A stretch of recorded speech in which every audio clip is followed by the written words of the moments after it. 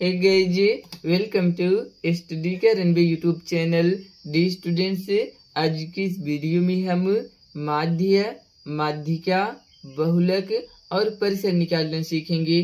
तो यहाँ पर एक क्वेश्चन दिया गया है जिसका कि हमें माध्य निकालना है। तो दोस्तों माध्य निकालने का एक फार्मूला होता है माध्य बराबर संख्याओं संख्याओं का योग बटा में कुल संख्या कुल संख्या। अब देखिए दोस्तों, पहले तो हमें क्या करना है? यहाँ पर जो भी संख्या दी गई है, इन सभी का योग कर लेना है। तो आइए करते हैं। तीन, धन दो, धन चार, धन छ धन पाँच, धन आठ, धन पाँच, धन सात। इसके बाद क्या करना है? बटा का साइन लगा लेना है। इसके बाद क्या करना है? कुल संख्या है ना? तो यहाँ पर सभी संख्याओं को काउंट कर लेना है। एक, दो, तीन, चार, पाँच छ सात, आठ। तो यहाँ पर नीचे में आठ लिख लेना है। अब क्या करना है? इन सभी को जोड़ लेना है, क्योंकि संख्याओं का योग कहा गया है। तो तीन दो पाँच, चार नौ, छ पंद्रह, पाँच बीस, आठ अट्ठाईस अट्ठाईस पाँच तैतीस तैतीस सात चालीस। तो यहाँ पर जो है आ गया चालीस और बटा में आठ है। तो इसे हमें काट लेना है। तो ये काटते हैं, आठ पचे में होता है चालीस। तो कितना आ गया आंसर? पाँच आ गया। यहाँ पर एक क्वेश्चन दिया गया है जिसका हमें माध्यिका निकालना है। तो इसके लिए सबसे पहले आपको क्या करना होगा कि जो संख्या दी गई है, इन्हें आरोही क्रम में लिख लेना होगा। आरोही क्रम मीन्स होता है बढ़ते हुए क्रम। इसमें हम सबसे पहले सबसे छोटी संख्या को लिखते हैं। इसके बाद उससे थोड़ी बड़ी संख्या को लिखते हैं। अब उससे दो से बड़ी संख्या कौन है? तो पाँच है। इसके बाद सात है, फिर नौ है, फिर बारह है। इसके बाद पंद्रह है। तो यहाँ पर हमने क्या किया? सबसे पहले तो संख्याओं को आरोही क्रम में लिख लिया है। अब क्या करना है? तीन संख्या इधर से और तीन संख्या इधर से जो है, ले लेना है। तो इसमें बीच की संख्या कौन बची? तो सात बची। तो यही हमारा जो है, माध्यिका हो गया। माध्यिका मतलब ही होता है बीच की संख्या। अच्छा यहाँ पर मान लीजिए विषम संख्या था तो बीच का निकल के आ गया।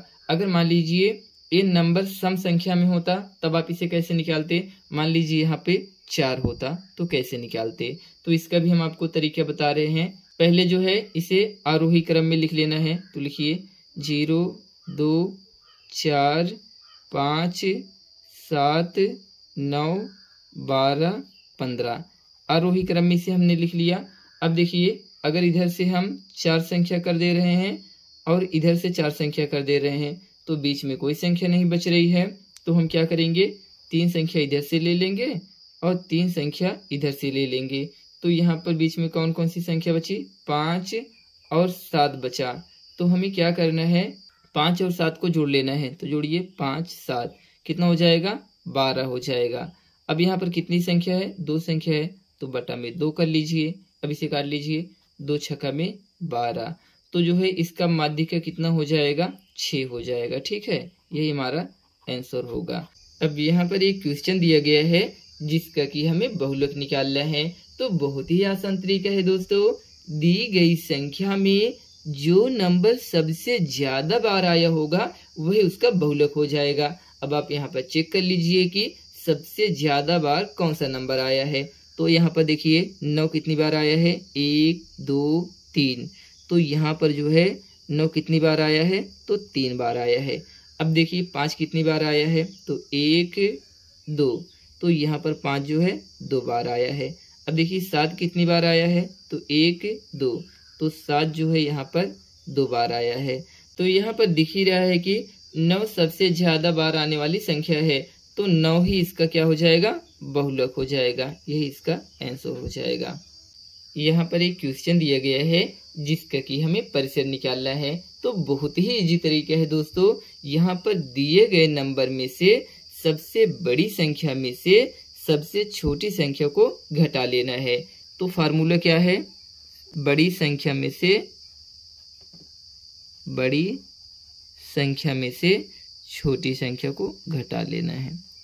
छोटी संख्या को घटा लेना है। अब बड़ी संख्या इसमें से सबसे कौन सी है? तो नौ है। तो नौ लिखिए। माइनस करना है सबसे छोटी संख्या।